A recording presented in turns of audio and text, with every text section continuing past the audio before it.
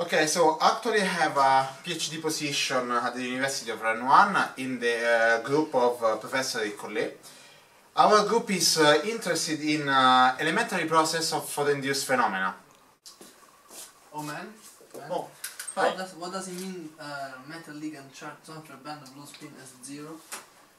No, low spin is uh, spin equal to zero and uh, MLCT is ligand charge transfer and is the band where you have the transition, the electronic transition from the metal center to the ligand state. Ciao, I'm Andrea, I'm from Italy and I'm an ex-Mamaself student. I'm actually performing a PhD uh, at the University of Rennes 1 in France. I chose Mamaself because I wanted to study and travel at the same time and I choose Mamaself to the many opportunities to discover the different science all around the world. But mainly I choose Mamaself because of um the many doors that it opened to me to my future career. Thanks to Mamaself, I had the opportunity to get in contact with um, the team of Professor Eric Collet, which is uh, one of the top leader in um, at the international level on uh, uh, photo-induced ultra-fast dynamics in the, in the solid state. And this can allow us to uh, direct follow uh, the dynamics of um, light-induced phenomena. And this is thanks also to our setup, which is uh, not common to, to find everywhere.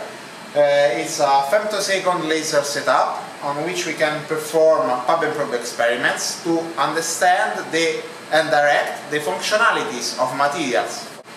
For example, in metal to insulator uh, phase transition, or um, we can change color with lights and see how these phenomena are happening inside the materials.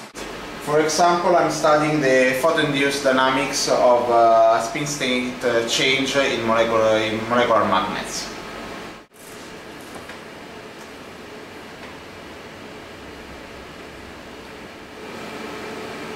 You can see the sample there.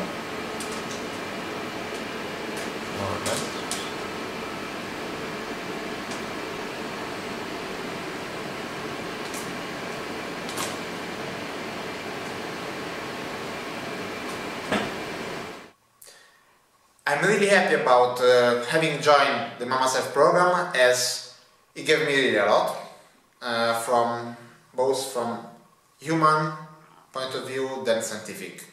I found a big family hugging me and uh, really top level uh, science also. Uh, Mama, Mamaself is not just studying on the book but really touching science life uh, and it's full of activity from sports to uh, conferences, science, melting pot is really big intercultural melting pot.